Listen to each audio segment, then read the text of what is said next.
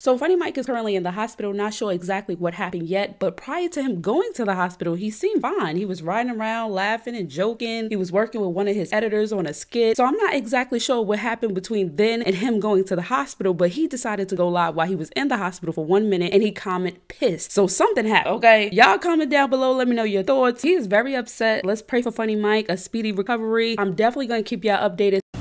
Well, just have my nights, man. Oh, good. I ain't crash out. That bit Mike did. Y'all go pray for that bit.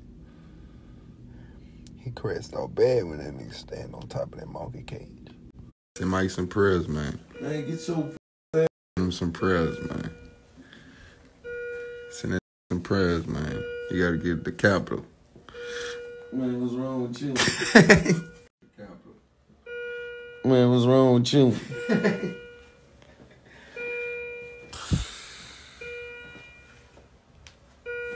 know, I've been up all night.